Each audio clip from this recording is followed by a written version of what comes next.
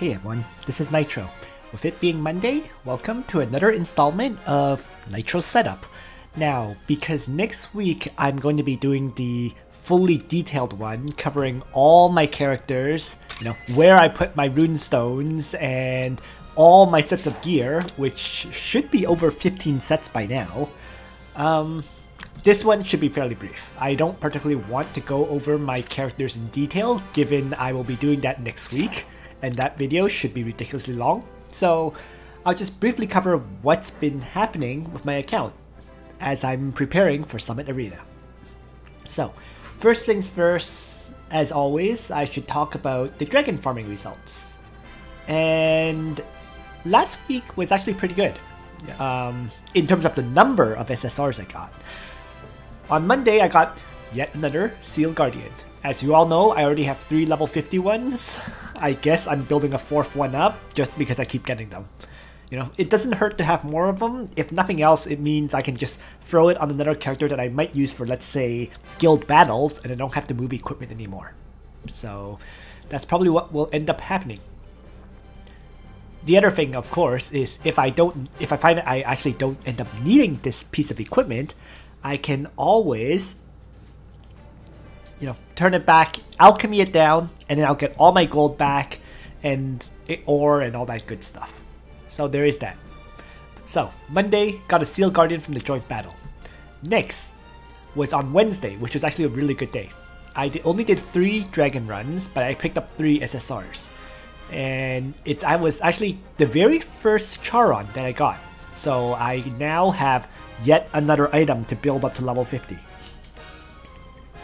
Well, it just means that my I guess, equipment upgrade, the lack of epic martial spirits continues. You know, I'll definitely be upgrading this Charon, but it's a matter of when. It's not really exactly a top priority, in my opinion. Like, it's a very, very nice piece of equipment for PvE, right? Because since it can increase the amount of damage you do to enemies. But given I have basically all current PvE content cleared, I don't need it.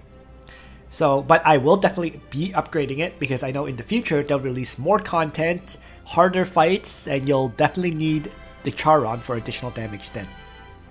So other than Charon, you know, picked up yet another copy of a Twilight Helmet, so I can continue to upgrade Zerida's current Twilight Helmet, which I think is level 30.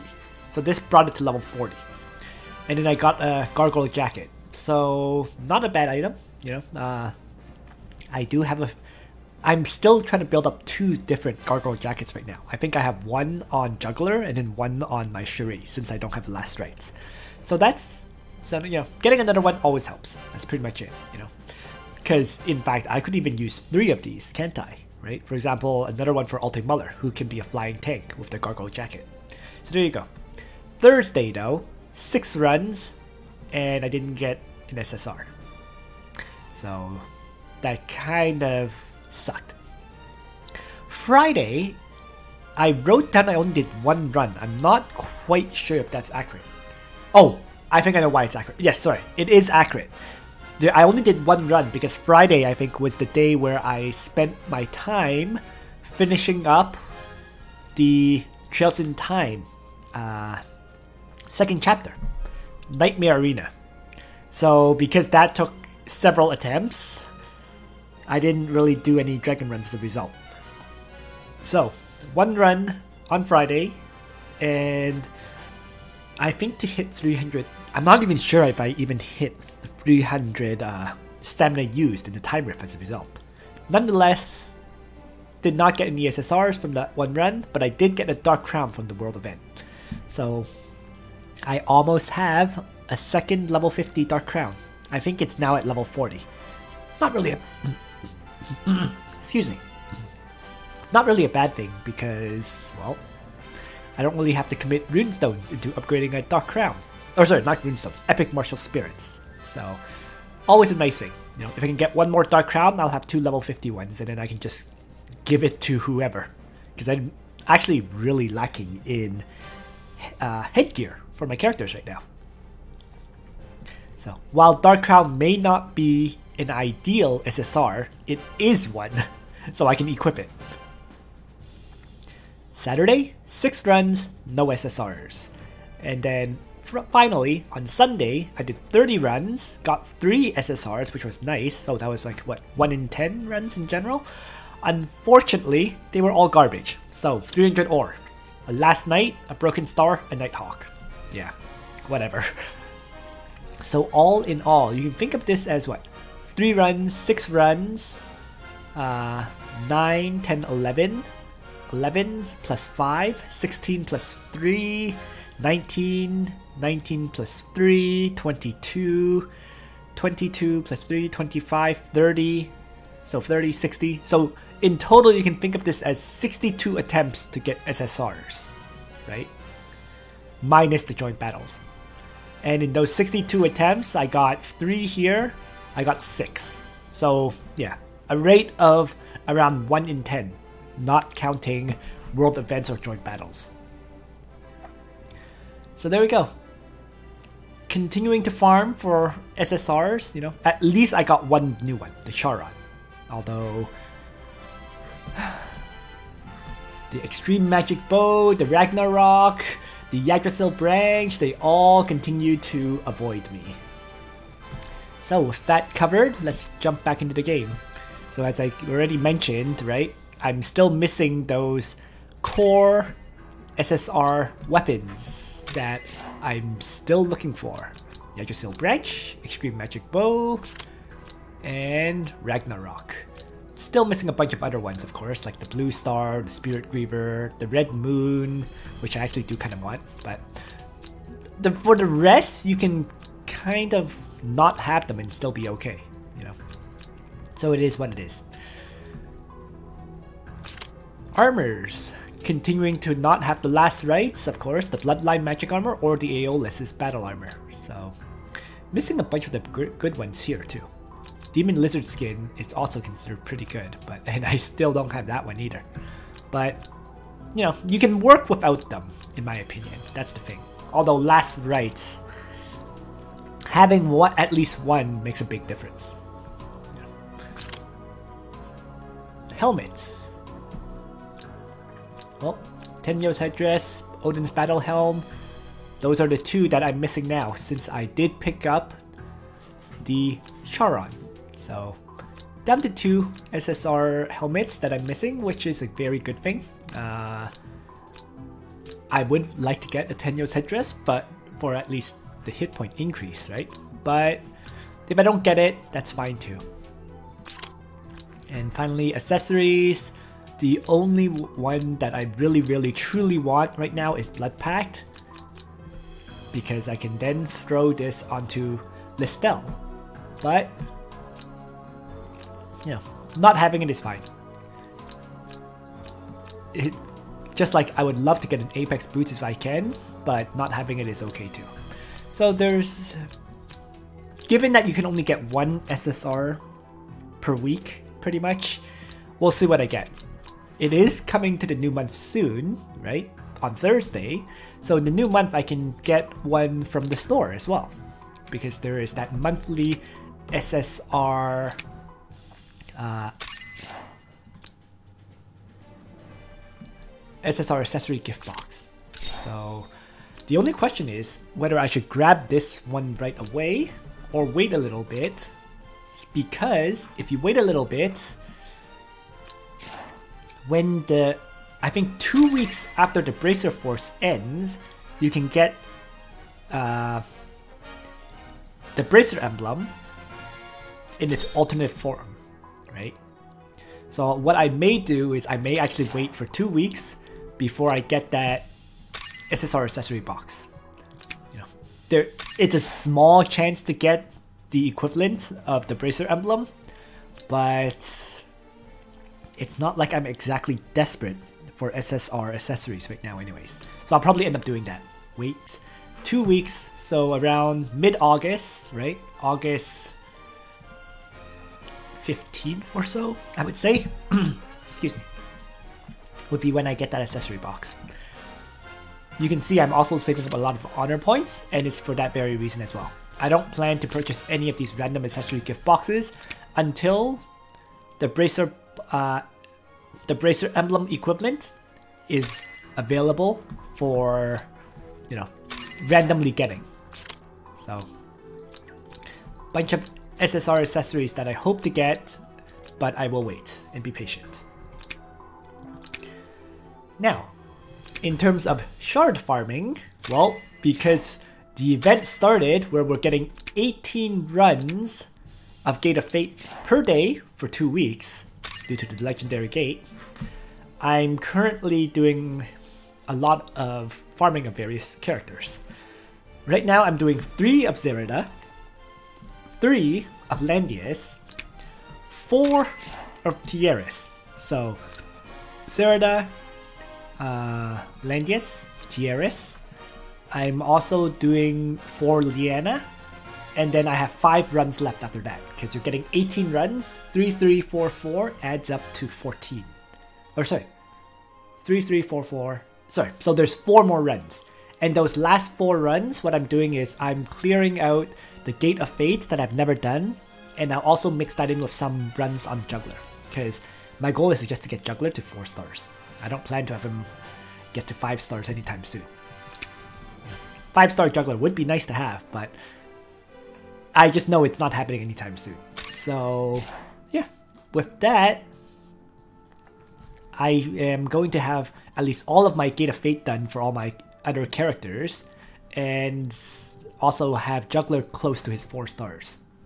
So by next week, which would be August 5th, I actually won't be complete yet. I won't be completely ready for uh, Summit Arena. But yeah, all of this is just work in progress, right? As Summit Arena continues, my party will be more and more finalized. I don't think I'll ever have my 15 characters absolutely finalized, because that's really only possible if you whale up, but it should be in a solid position. Oh, I should also mention, the four Liana shards I mentioned about, I'm actually putting into Elwyn. I'm gambling a little bit. What I plan to do is I'm going to be drawing for one more SSR on the banners that are happening this week, right? Until the 7th. And what I'm hoping to get is another copy of Landius or Listel to make it easier for me to raise up their levels. By doing so, as long as I can uh, SSR, I will end up with a CP token. So I'm going to use that CP token to trade for 60 Liana shards. And the other CP token, of course, if I have to, I'll trade it to get Listel. So hopefully I'll end up with a 4-star Listel, right? Hopefully a 5-star Landius, and 60 Liana shards. That's the goal.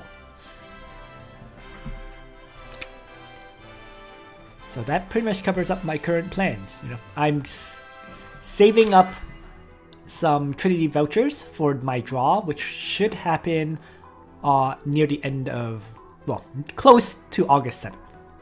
So I'll probably record that draw then. Other than that, in terms of characters and equipment, I'm not going to go over any of that stuff right now because it's I'm still very much in transitional phase right now, and if I'm gonna go over all of that in detail next week, shouldn't even bother. But there's just been really over the past week, right? You saw the SSRs I got, so there's just really been minor changes, right? Like as, as I mentioned, Twilight Helmet went from level 30 to 40, but this Twilight Helmet in the first place is not really Zerida's final gear. Um, so really, just a bunch of minor changes like that. In terms of bonds, just briefly, Zerida finally got her confession, so you can see right there, because I, I maxed out her heart bond. Just today, in fact. So, she's actually the very first female character I have maxed out on the heart bond. None of my other female characters have their heart bond maxed yet. You know, Lana is close at level 7, but not quite.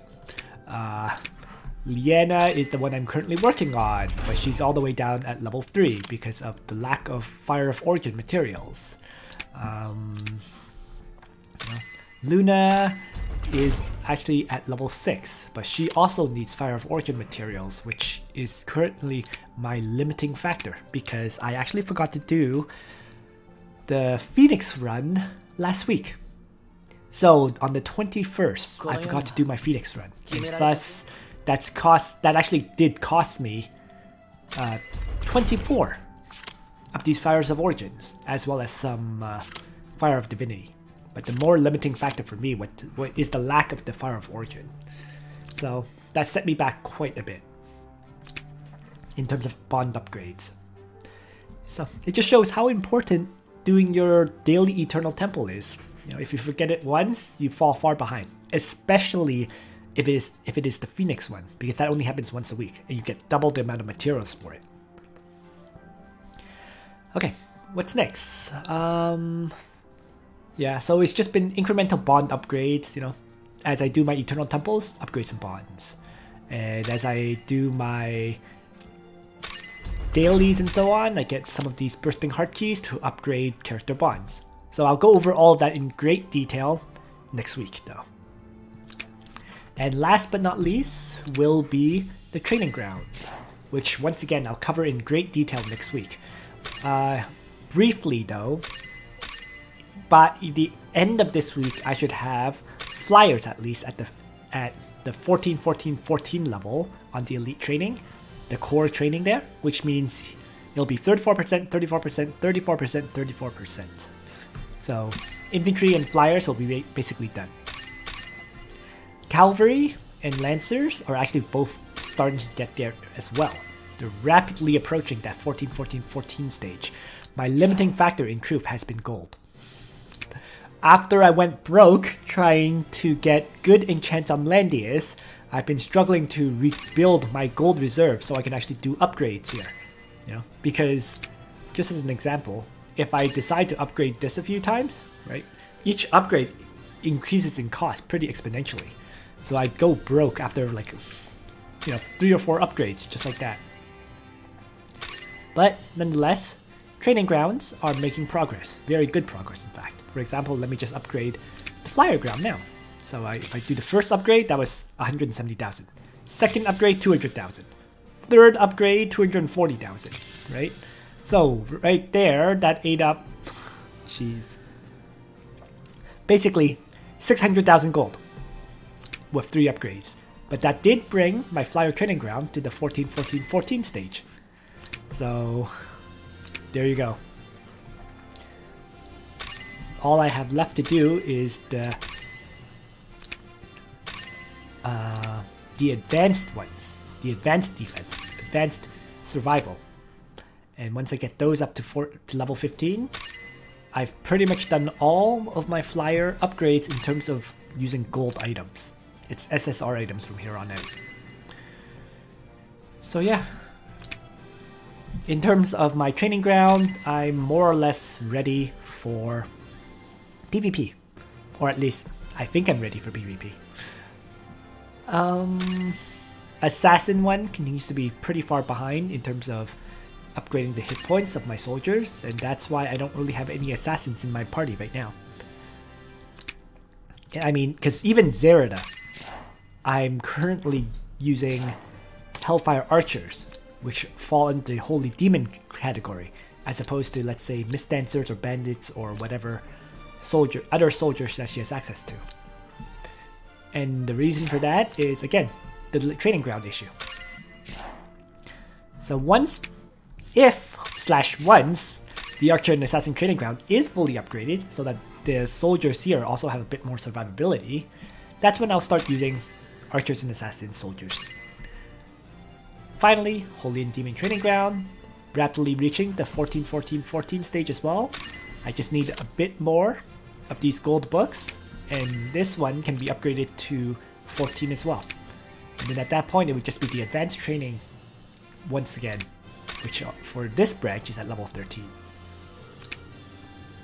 Other than that, I think the main thing is I'm I almost have enough devout gloves to bring my Royal Cavalry, which are used primarily by Landius, to level 10. So, two more of these devout gloves. And then I still, of course, with that said, I still have a bunch of upgrades to do in terms of increasing the survivability of my Royal Cavalry. Because their hit points and their defense and magic defense stats are still lower than the 34% that the other training grounds offer. I'm just going to send off another expedition in the meantime. Okay, so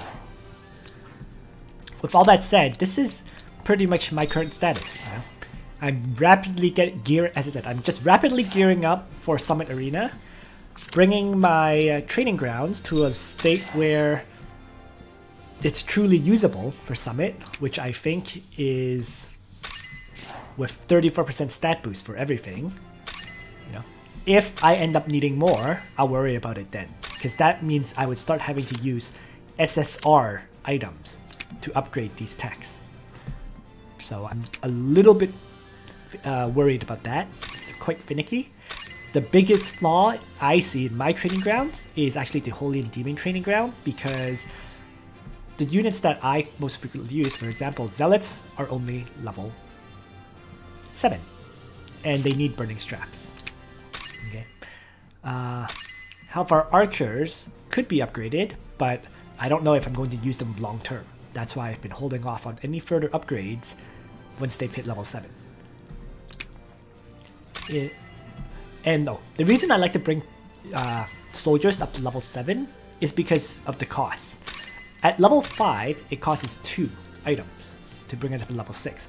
And then I think from level 6 to level 7 it's just 3 more items. So that's in total 5 of each item, right? To bring it up to level 8, it uses an additional 5.